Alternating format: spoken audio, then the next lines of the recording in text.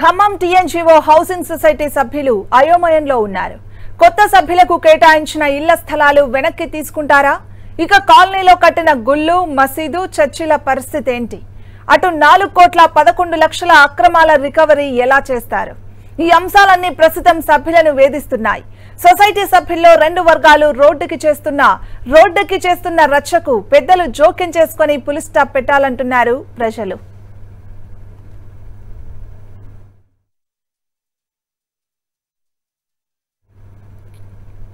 తాజా పరిస్థితిపై మా special correspondent present ground report. ఇప్పుడు చూద్దాం. Telangana TNGOs colony Khammam. ఈ సొసైటీ రద్దు కానుందా? అంటే తెలంగాణ టీఎన్జీఎస్కు సంబంధించిన ఉద్యోగుల సొసైటీ ఒకటి హౌసింగ్ సొసైటీ ఒకటి ఉంది. ఈ సొసైటీ రద్దు కానుందా? దీనికి సంబంధించి సొసైటీస్ కమిషనర్ ఇచ్చిన నోటీస్ నేపథ్యంలో దాదాపు నాలుగు కోట్ల పదకొండు లక్షల రూపాయలు రికవరీ చేయాల్సిన అవసరం ఉందా? అందులోనే చూసుకుంటే అక్కడ గుళ్ళు ఏవైతే ఉన్నాయో గుళ్ళు మసీదులు ఈద్గాలు చర్చి వీటికి సంబంధించి ఏం జరగబోతుంది? అదేవిధంగా పదహారు వందల ఎనభై ఆరు మంది సభ్యులు కాకుండా అదనంగా ఇంకొక రెండు వందల పదిహేడు మంది సభ్యులకు సొసైటీ ఇచ్చినటువంటి ఇళ్ళు అవి ఇల్లీగల్ అని అవి రిజిస్టర్ కాలేదని అది అసలు కేటాయించిన భూమే కాదని కమిషనర్ నోటీస్ ఇచ్చింది. వాళ్ళ రెండు వందల పదిహేడు మంది పరిస్థితి ఏమిటి? ప్రస్తుతం ఏం జరగబోతుంది?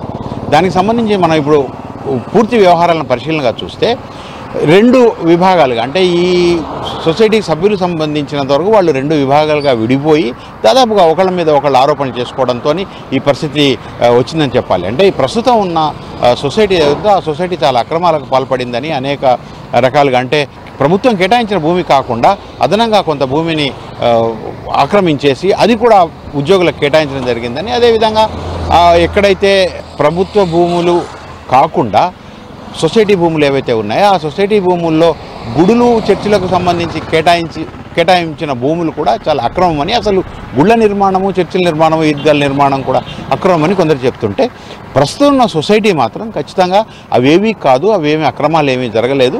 ఒకవేళ రెండు వందల పదిహేడు మందికి సంబంధించినంత వరకు అదనంగా కొత్త సభ్యులకు ఇచ్చి ఉంటే అది కొలిచి ఎంత కేటాయించారో అంతే ఉంచి వాళ్ళకి తీసేసుకోవచ్చు అని కూడా ప్రస్తుతం ఉన్నటువంటి సొసైటీ చెప్తుంది. అదే ఉండగా గుళ్ళు చర్చిలకు సంబంధించినటువంటి కేటాయించినటువంటి భూమి అయితే ఉందో అది ఇళ్ళ నిర్మాణానికి పనికిరాని భూమి మాత్రమే గుళ్ళు చర్చిలు మసీదులకి కేటాయించడం జరిగింది తప్పితే అది ఇళ్ళ వినియోగానికి ఇళ్ళ నిర్మాణం వినియోగానికి పనికొచ్చేది కాదు అని కొత్త సొసైటీ చెప్తుంది. మొత్తం మీద అయితే దాదాపుగా అంటే పదహారు వందల ఎనభై ఆరు ప్లస్ రెండు వందల పదిహేడు మొత్తం మీద ఒక పద్దెనిమిది వందల మంది ఈ ఇళ్ళకు సంబంధించినటువంటి ఈ సొసైటీ సభ్యులు కొంత వివాదంలో చిక్కున్నారని చెప్పాలి. అది కేవలం రెండు వర్గాలుగా చీలిపోయి ఈ సొసైటీ సభ్యులంతా కూడా ఒకళ్ళ మీద ఒకళ్ళు ఆరోపణలు చేసుకోవడం ఫిర్యాదులు పెట్టుకోవడంతో కమిషనర్ నోటీస్ ఇవ్వడం జరిగింది. ఆ నోటీసులో ఈ మీరు సొసైటీని ఎందుకు రద్దు చేయకూడదో కారణాలు చెప్పండి అని ఒక షోకాజ్ నోటీస్ ఇవ్వడం జరిగింది. అదేవిధంగా ఏ అక్రమాలు అయితే జరిగాయో ఆ అక్రమాలన్నిటికీ కూడా ఒక ఒక మొత్తాన్ని తయారు చేసి నాలుగు కోట్ల పదకొండు లక్షల రూపాయల అక్రమాలు ఇక్కడ జరిగాయి.